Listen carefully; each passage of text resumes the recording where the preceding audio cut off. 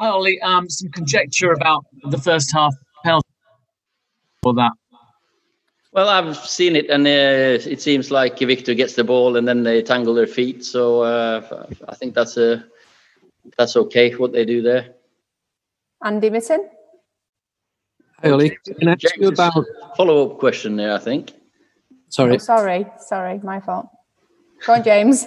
Sorry, and in, in terms of that second half, um, there's so many compliments paid to your team, but how impressed were you by the hunger and desire to hunt down the ball and get that second goal that proved crucial? Well, it had to be better than first half.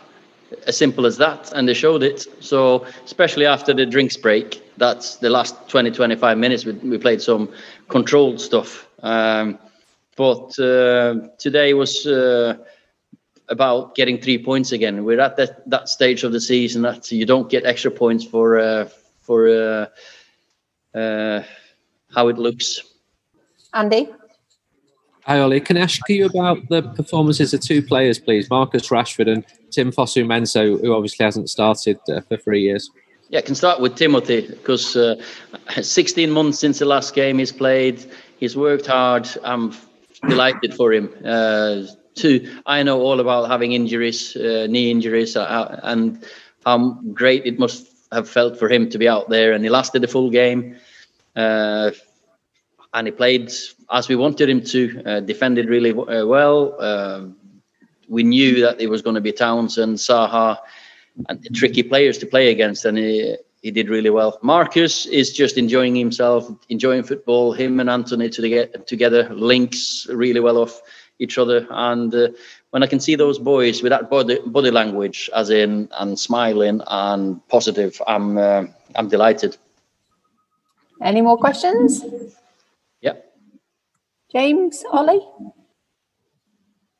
Ollie, um, you only made a couple of changes tonight. You obviously named the same team for five games in a row before that. Are, are you confident that this this sort of small group that you're working with can keep going? Because you might have quite a few matches going into August at this rate if you keep winning the games that you're, you're playing in.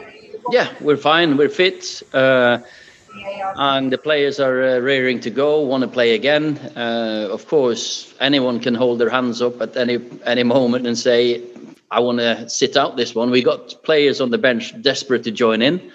So, um, but we, of course, it was forced with Brandon and Luke wasn't uh, available today, but Timothy did did great, and uh, Scotty has been fantastic. So um, he he took a shift for Nemanja. So we, we've got enough players. We we've had the chance over this period to take players off. We've been three goals up in many games after 60 minutes. So we've been uh, fortunate in that respect.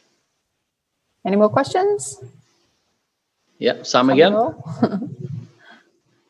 Uh, just one more about Fosu-Mensah, Ole. Did he? Would you say you chose him start tonight because of his know-how against Zaha and Townsend, having played with them on loan, uh, rather than someone like Diogo, who of course played already this season? Well, uh, I've seen Timothy in training, and I've seen him before, obviously, and uh, with his pace and physicality uh, and his attributes, we thought uh, he was he deserved to to play this game, and I think he proved that. He showed it.